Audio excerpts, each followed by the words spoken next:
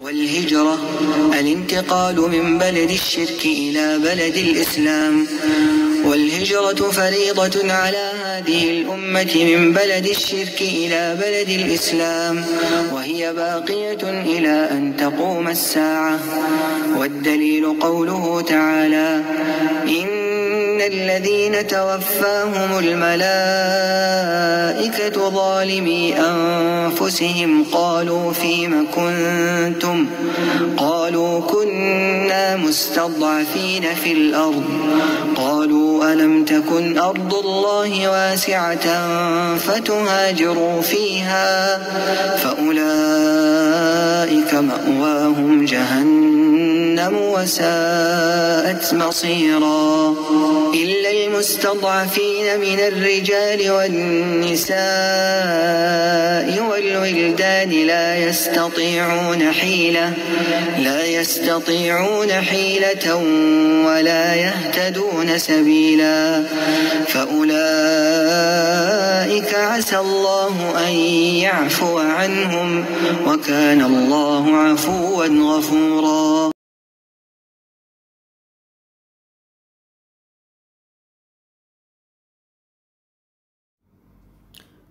السلام عليكم ورحمة الله وبركاته بسم الله الرحمن الرحيم Today, um, I wanted to address the issue of bad manners.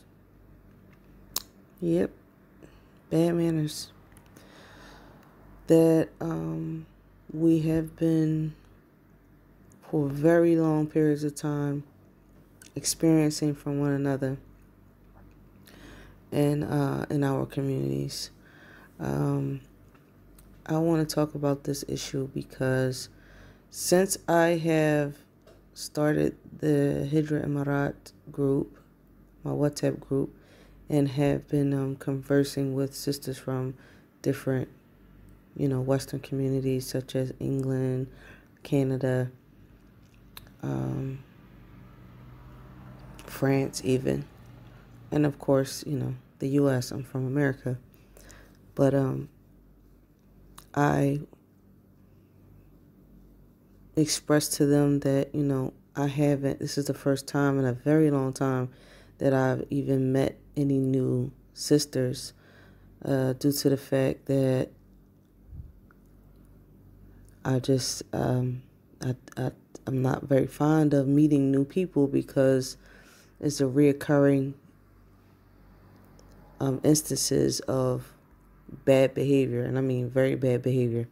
And when I go into detail with the sisters from these different communities, they have similar stories and they agree with me. And um, it has nothing to do with the times that we're living in per se, but it is an overall behavior and and mentality that comes along with living in subculture communities in uh, in the West, in secular societies and things like that. And the reason why,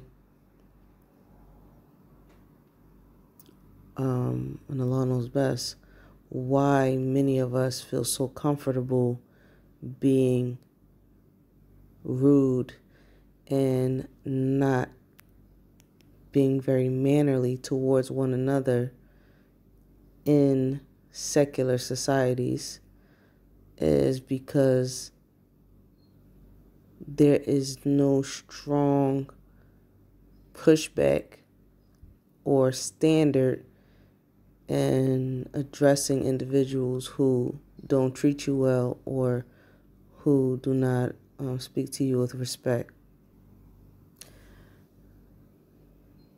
Now, there's a, there's a few reasons for that. When you're in a secular society and you create a community uh, that is religious based, many times people will be they will act very informal. You know, they um, they don't have a larger society to hold them accountable for their behavior and their actions. And Um, I know this to be true because it seems as if, you know, once those who, for example, had a normal life before becoming religious were in greater society, in the secular societies, they know their limits. They show respect and common courtesy to the common man. But it seems like all of that gets thrown away once we get into these communities, and many people forget all of the manners and etiquette that they used in greater society, and it's now thrown away. It's a couple of reasons for that as well. It could be that we are those of us who who came from manners and know how to treat people got mixed in with individuals who are in the ranks or who come to the community uh, that have very little to no manners and if the majority of a community is made up of these kind of individuals then um, their behavior can rub off on you unfortunately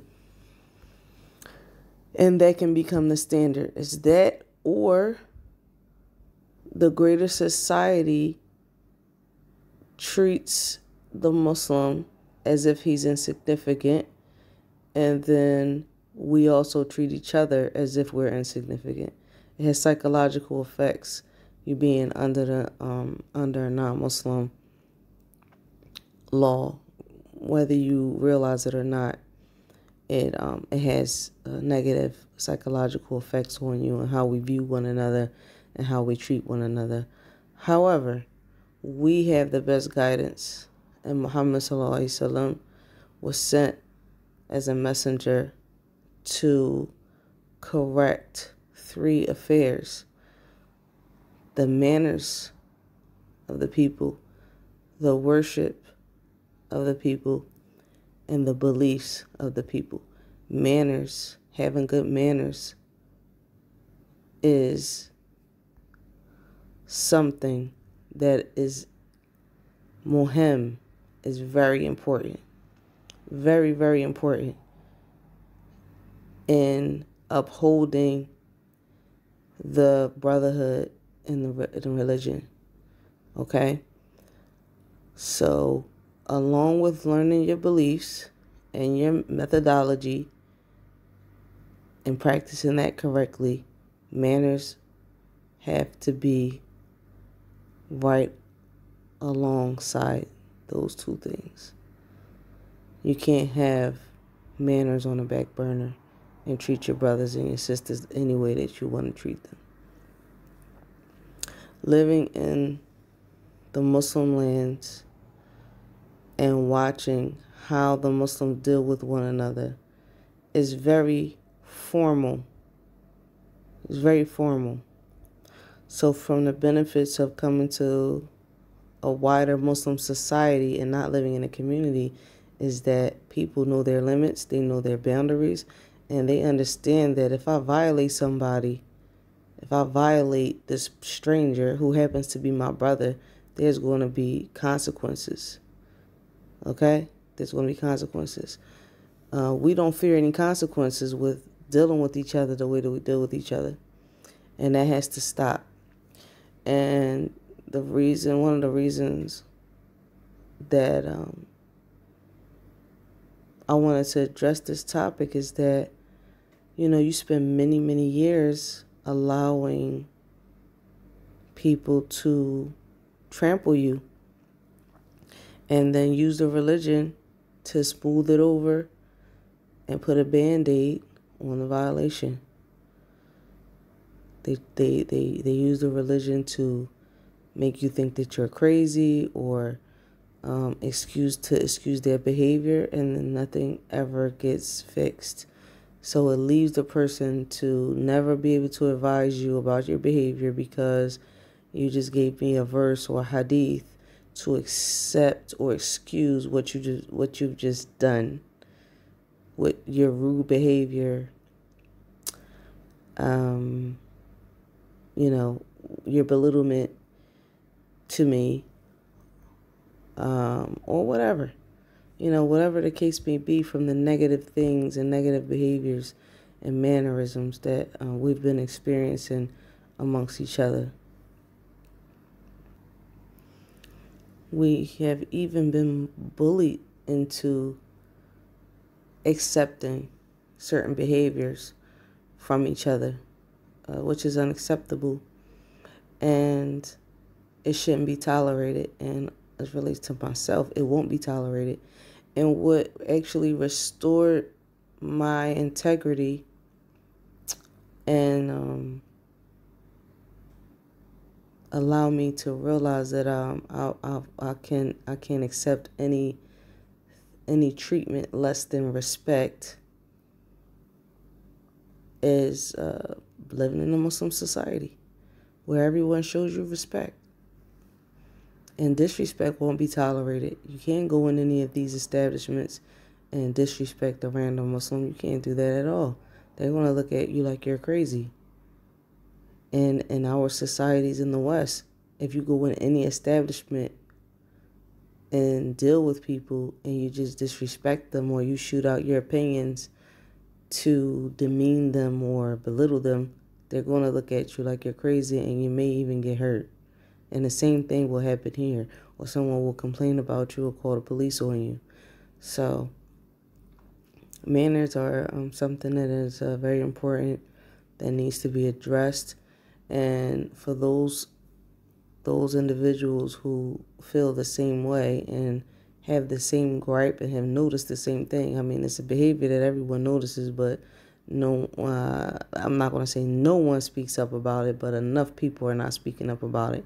But I would say to you, stand up for yourself, create boundaries, and teach people how to treat you and make it very clear what you will tolerate and what you won't tolerate. And do unto others what you what you want done unto you. وَخَالِقَ النَّاسِ بِخُلُقٍ حَسَنٍ Prophet Prophet said, and deal with, and deal with the people with the best treatment. So I mean, it's about implementation, putting putting your putting your practice, you know, in action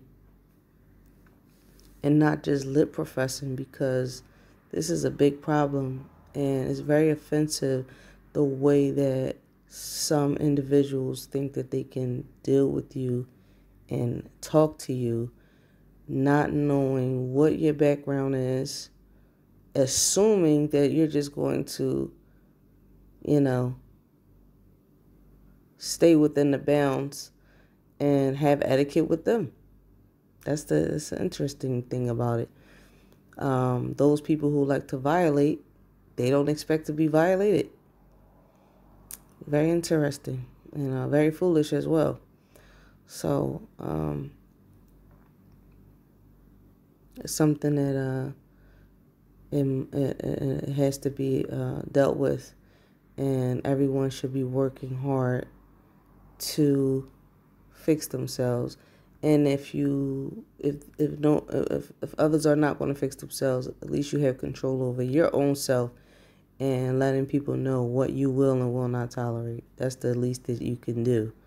You don't have to sit and tolerate anyone abusive anyone's abusive behavior or insolence or disrespect regardless of us being from uh, you know trying to tread the path of salafiyah and that that should be all more reason why we should be the best of those who show good character and good manners towards each other. If you want Allah's aid and assistance, then you'll work in this area. And if not, like I said, establish some boundaries and let a person know what you will and won't tolerate. And if they don't respect that, then don't give them your time or don't give them your, your don't give them any attention and they can keep they can take you know they can get their walking papers is what i like to say so that's what i um, wanted to talk about and um, i would like to hear what you all have to say about this topic And if you can give any input and extra advice, then please do in the comment section. And I will see you all in the next video. Ma'asalama. Don't forget to like, share, and subscribe.